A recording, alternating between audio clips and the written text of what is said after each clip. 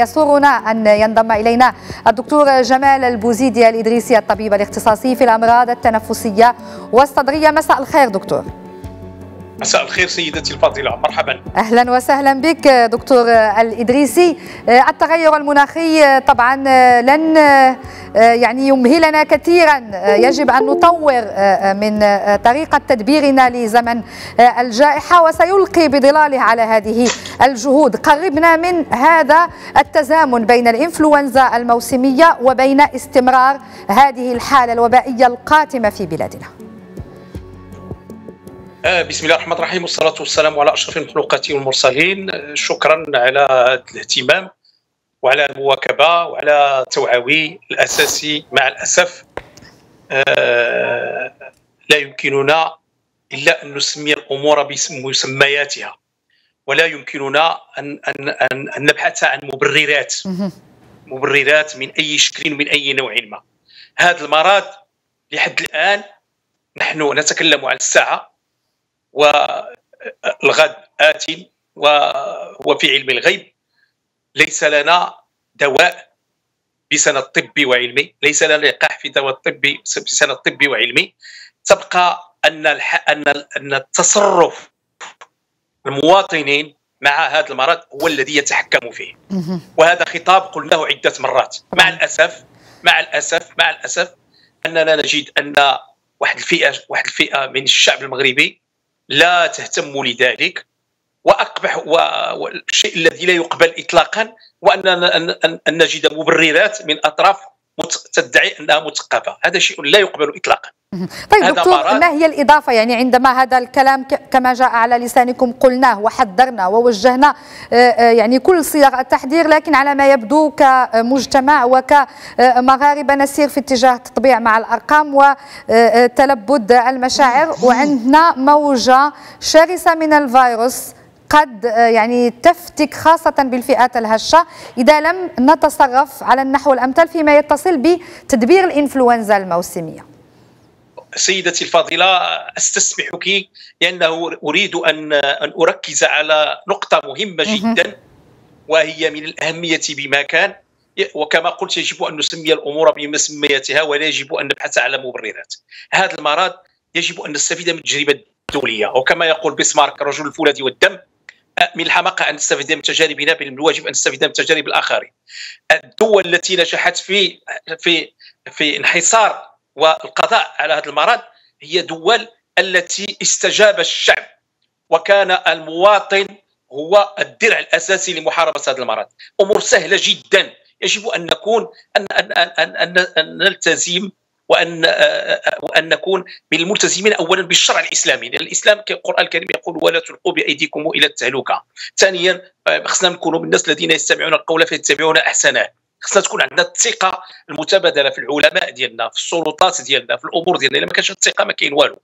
كنشوفوا حاليا أن الدول اللي نجحت دول آسيا وأقولها وأكررها عدة مرات وفي مقدمتها الصين الشعبية واليابان وإلى آخره استطاعت استطاع المرض أن ينحصر تماما بفضل سلوك المواطنين. راه إلا ما كانوش المواطنين. كيحملوا الكمامة بطريقة سليمة كيحرصوا على التباعد الاجتماعي. كيديروا النظافة ديالهم ما غيمكنناش نقضيو على هذا المرض. هذا مقدمة. ثانيا أنه كاين مع الأسف أننا كما قال رسول الله صلى الله عليه وسلم في زمن الرويبيده يكذب الصادق ويصدق الكاذب. كيجي شي واحد تافه وأقول وأتحمل مسؤوليتي فيما أقول. كيطلق les intox الدعايه السامه أو ce qu'on appelle fake news كيقول واحد المجموعه ديال الكلام اللي خاوي لا أساس لهم الصحة ولا سند له تفضل اليوم أن الناس تسمع من عندك الكلام السليم يعني فيما يتصل بالتخصص ديالك اليوم.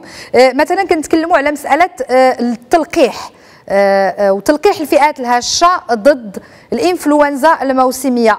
العديد من الناس هذه المسألة ديال التلقيح ما تيتحفظوا عليها وما تياخذوش بها.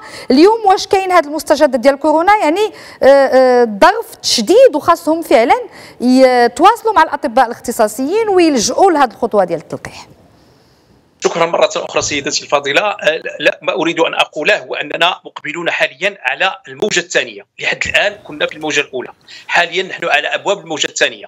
وهذه الموجة الثانية إذا تصرفنا بهذا التصرف فسنصل إلى عواقب كارثية لأنه معروف تاريخيا وعلميا أن الموجة الثانية تكون أكثر فتكا من الموجة الأولى والموجة الثالثة. الموجة الثالثة يكون الفيروس قد قد أه، أه، كيكونوا قالوا لادابتاسيون نتأقلم مع الناس ولكن الموجة الثانية هي اللي تكون خطيرة. وبالتالي حنا خصنا باش ما نحصلوش نتائج سلبية خصنا نكونوا كنتصرفوا واحد التصرف اللي هو حكيم واللي سهل جدا هو هذوك لي ميزور بارير هذه المساله الأولى. المساله الثانية أنه حقيقة كاين واحد الأعراض ثلاثة ديال ديال ديال ديال الأمراض اللي الأعراض ديالها متشابهة إلى حد ما.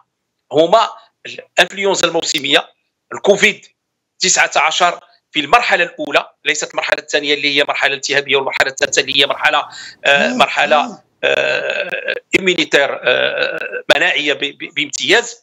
هذا وكاين la rhinite allergique. كتكون فيها العطس كيكون السيلان الأنف كيكون الالم ديال ديال المفاصل الم ديال ديال العضلات كيكون الحالة العياء كيكون الارتفاع ديال درجة الحرارة. كتكون كتكون هذه أعراض اللي هي مشابهة بين الاولى والثانية. فيما يخص لارينيت اليرجيك ما كتكونش الارتفاع ديال درجة الحرارة ما كتكونش هذوك الحرق ديال المفاصل ولكن الأعراض الأخرى كتكون متشابهة. آه، اللي أهم وكما جاء في سؤالكم الوجيه هو أنه هذه الفئات هذه معروفة دائما لأنه حتى الانفلونزا الموسميه عندها واحد الدرجة ديال الفتك وخاصة الناس اللي عندهم المناعه ديالهم ضعيفة وأخص بالذكر الناس اللي هما أصحاب السكري أصحاب الربو الضيقه أصحاب القصور الكلوي القصور الكبدي آه، ضعف القلب آه، الناس أصحاب السرطان نعم. الناس اللي هما sous chimiothérapie هادو حتى حتى الإنسان مثلا أو الأمراض التنفسية مثلا أصحاب les BPCO المدخنين الكبار لأنه كيمكن بهذه الانفلونزا توقع له une décompensation وهذيك la décompensation كتكون سبب في الوفاة ديالو أو في مضاعفات اللي هي خطيرة وبالتالي ملي كناخذوا هذاك ال vaccin هذا اللقاح ديال ديال الانفلونزا الموسمية يعتبر نموذج نموذج من نماذج الناجحه ديال التعاون الدولي في, في, في الاستشراف ديال لاسوش اللي غتكون مسؤولة على على على على هذه الجائحة دول آه، على الصعيد الدولي. وبالتالي كتكون موجده ولهذا مثلا دابا الإنسان اللي غياخذ هذاك اللقاح خصو ياخذو ديال ديال 2021 ماشي ديال 2020 ماشي نعم. ديال 2019 لأنه هو اللي كيكون موجد لهذا هذا كيغطي واحد 80 90% منه وبالتالي كيحمي مولاه باش ما كتجيش كتجيش une décompensation ديال ذاك المرض ديالو اللي كيكون متوازن طيب دكتور اليوم واش كتنصحوا نعم. فقط هذه الفئات الهشة أنها دير التلقيح أو لكل آه، يعني شخص لأن كاين اللي تيتحدث على آه، فئة الحوامل مثلا أو الأطفال يعني من أجل نعطيو المعلومة الطبية الصحيحة ونستثمروا الحضور ديالكم معنا. آه، شكون؟ الجميع طبعا معني على ما يبدو بالتلقيح ولو أننا تكلمنا على الفئات الهشة اللي عندها الأولوية. لا كاين الفئات الهشة تماما ما نزيدوش عليها لأن المرأة الحامل هي تعتبر من الفئات الهشة لأنه la grossesse c'est une pathologie وكتكون فيها حالة ماشي طبيعية كتكون المناعه المرأة مرتبكة وبالتالي كيخصها تاخذ الفيروس. تاخذ اللقاح ضد الفيروس. اللقاح ديالها. هادو كنعطيو في الحالات اللي هي محدودة ومعروفة. كنقولوا les asthmatiques أصحاب الربو الناس ديال السكري الناس اللي عندهم أمراض اللي كتقيس المناعة السرطان ضعف القلب القصور الكلوي القصور الكبدي إلى ذلك من الأمراض اللي معروفة. والانسان كيشوف الطبيب العائلة ديالو اللي كينصحوا والناس اللي هما مسنين. أما عامة الشعب ما كاين الناس ما كاينش مشكل. طيب دكتور بغيت نستثمر طبعا الحضور ديالك معنا أه باش تفاعل حول واحد النقطة. آه، يعني خطر الإنفلونزا في فصل الشتاء آه، بسبب انخفاض درجة الحرارة والرطوبة عندنا أيضا برودة الجو التي تجعل بطانة الأنف جافة. وهذا ربما ما يسهل دخول الفيروسات. هذا هذه المسألة آه، صحيحة ويمكن أنها تسهل حتى دخول فيروس كوفيد 19 أكثر من هذه الأشهر الماضية اللي عشناها هو سيدتي الفاضلة شيء شيء يذكر هو معروف أنه les virus à tropisme pulmonaire ou respiratoire الفيروسات اللي عندها تفضيل للجهاز التنفسي كلها كتجينا في المواسم البرد. وتندثر عندما ترتفع درجة الحرارة. إلا فيروس آه، كوفيد 19 وهذا ما يؤكد عند البعض أنا راوي الكفر ليس بكافر أنه مانيبيولي إنه مصطنع لأنه هو بالعكس في, في, في فترات الحرارة عاد عاد عاد كانت الانتشار بشكل اللي هو كبير.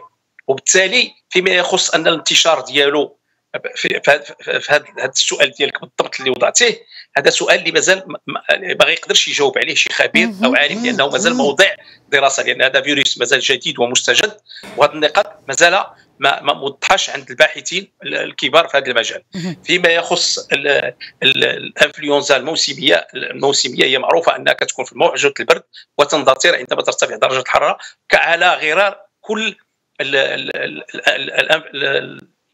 كيف قلنا لي فيروس اللي عندهم تفضيل للجهاز التنفسي.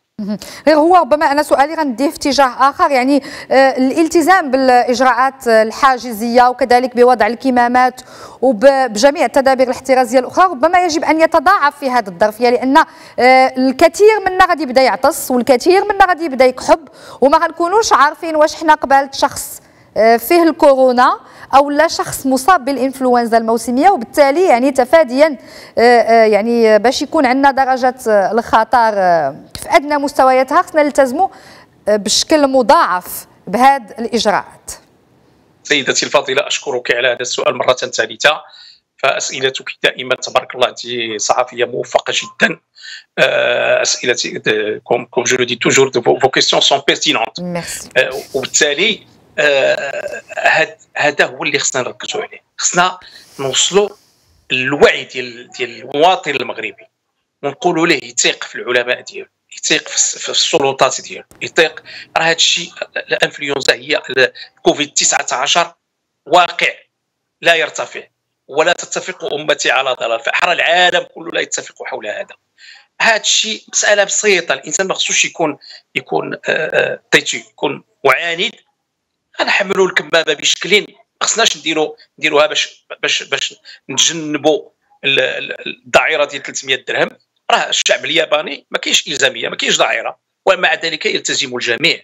دول دول آسيا كلها تلتزم بذلك. نعم. وخصها تولي جزء منا كاين واحد المجموعة ديال الناس كيقول لك آه هذيك الكمامة كتقنطني كتضيقني. هذه الهضرة c'est un effet purement psychique عامل نفسي مطلق. ولكن دكتور مزيان اللي ربما أثرتي هذه النقطة. كاين اللي كيعتبر كيقول لك لا ما نديرش الكمامة لأن كنبقى المدة كاملة كنستنشق ثاني أكسيد الكربون. ما كيبقاش نستنشق الأكسجين وغتأثر الوظيفة أو الجهاز التنفسي ديالي. شنو الجواب ديالك كطبيب متخصص؟